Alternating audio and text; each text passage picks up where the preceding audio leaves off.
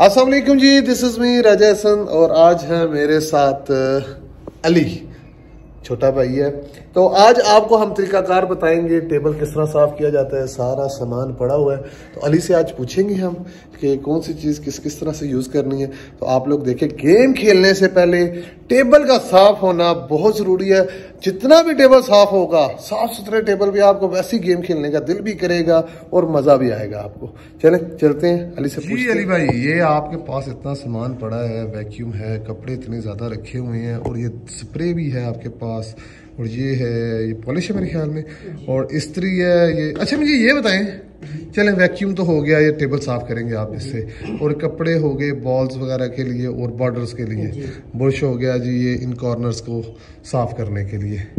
और एंड पे आप इस्त्री लगाएँगे और अच्छा ये किस लिए जी? ये ये चैप किस लिए आपने रखा है? इसमें क्या तो ऐसे जब बाल साफ़ करने हो ना तो ये है कि बाल सारे इजीली जो है ना इसमें एक बार में सारे साफ़ हो जाते हैं। इसमें जनाब आपने बॉल जब आपको मुश्किल पेश आ रही हो कि आपने एक एक बॉल साफ़ करना तो ऐसे नहीं कि ये सारे बॉल आप इस चैप में लगाएँगे और इस टावल से आप फटाफट साफ़ कर देंगे।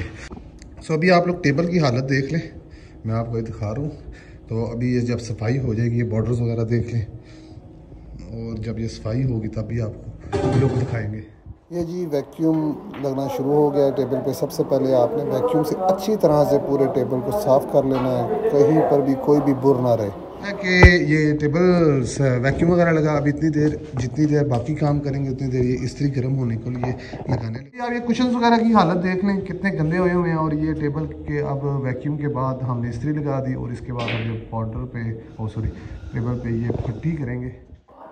तो अब ये फट्टी लग रही है जी टेबल के ऊपर। अच्छी तरह से फट्टी इससे बुर वगैरह बैठ जाएगी आपकी। तो इससे फिर आपकी जो बाद में इसके बाद हम प्रेस करेंगे वो बड़ी ज़बरदस्त है अभी ये फटी लगी और अब ये देखें हम करेंगे ब्रश के साथ। ये जो इसके अंदर चले जाते हैं जरे वगैरह चले जाते हैं मिट्टी के ये इस बुश से निकालने हैं हमने सारे।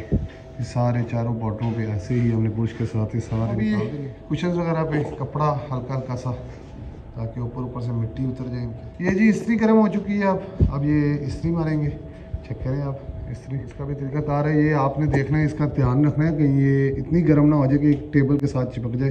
स्टार्ट में आपने ये ऐसे ये देखें ऑस्ट और ये देखें, आपको फील हो रहा होगा लाइन अब इससे बिल्कुल प्रॉपर बुर वगैरह बैठ अब ये बड़ी खूबसूरती से इसमें जब ये प्रेस लगती है तो एक तो टेबल की खूबसूरती हो जाती है, इसमें शाइन आ जाती है, और रिस्पांस आपका बहुत अच्छा हो जाता है वाइट का। बहुत अच्छी आपका ग्राउंड जो आपकी रनिंग होती है, बड़ी ज़बरदस्त हो जाती है। सबसे मेन चीज़ देखें आप, खूबसूरत कितना लगेगा अभी आपको मैं दिखाता हूँ कितना खूबसूरत लगेगा ये टेबल टेबल पेस्ट्री वगैरह लग चुकी है। कितना खूबसूरत लग रहा है। अब ये इस पर अब गेम खेलने का भी उतना ही मज़ा आएगा। जी अब पॉलिश है जो हम कुशन वगैरह पे ये गाड़ियों वाली होती है तो इसको अब कुशन पे मारेंगे। पॉलिश ये चेक करें। पॉलिश लगाने के बाद जी आपने एक सूती कपड़ा ये? पॉलिश लगाने के बाद आपने एक सूती कपड़ा ले लेना है और उसको ये देखें। ये देखें शाइन चेक करें बॉर्डर की। जी छः के छः बॉर्डरों पे लग चुका है कपड़ा और आप देखें लुक अब टेबल की कैसी ज़बरदस्त निकल आई है। बॉल आके सारे छेप के अंदर। ठीक है, साफ़ करें। ये जी, इसको इस तरह से आपने साफ़ करना है शाइन निकल आई है बॉल से जी, माशाल्लाह, हमारा टाइम टेबल पूरा तैयार हो चुका है। चैप वगैरह लग चुका है और अभी बहुत दिल कर रहा है गेम खेलने का। तो ये देख लें आप एक बार सारे टेबल को। इस तरह से कितना खूबसूरत लग रहा है। पहले भी आपने देखा था और अब भी देखें चैप वगैरह लग चुका है। देखने में आपको ये वीडियो शायद पाँच दस मिनट की लगे, लेकिन इसके पीछे मेरे ख्याल में हमें साफ़ करते हुए आधा घंटा लग गया। काफ़ी टाइम लगता है एक टेबल को अच्छी तरह से साफ़ सुथरा रखने में सॉरी साफ़ सुथरा करने में। तो ये मेहनत और ये जो हम इधर आके गेम शेम खेलते हैं, हमने तो काउंटर पे बैठना होता है और जो असल मेहनत करते हैं, जो असल हकदार होते हैं, ये होते हैं जनाब। इन्होंने टेबल वगैरह तैयार किए होते हैं और आके जनाब जब कोई प्लेयर आता है आके कहता है, वाह जी वाह, क्या बात है, बड़े ज़बरदस्त टेबल साफ़ करवाए ऐसा बाजा आपने। कोई आके इनको नहीं कहता कि यार, बड़े ज़बरदस्त टेबल साफ़ किए हैं। तो इनको अप्रिशिएट करना चाहिए, जो टेबल वगैरह साफ़ करते हैं। हमें तो इतना नहीं नॉलेज होता कि बस पता होता है यार इस तरह इस तरह करने हम, इतने आलकी होते हैं, हम नहीं करते। और असल मेहनत इनकी होती है और माशाल्लाह आधे घंटे, पौने घंटे से लगा हुआ है। टेबल प्रॉपर इससे साफ़ करके दिया है और मैंने अब आना है। ऊपर जनाब टेबल गंदा कर देना अब इसका। फिर इसको जनाब आके दोबारा से इसको फट्टी मारनी पड़नी है जब किसी नए प्लेयर ने आना है।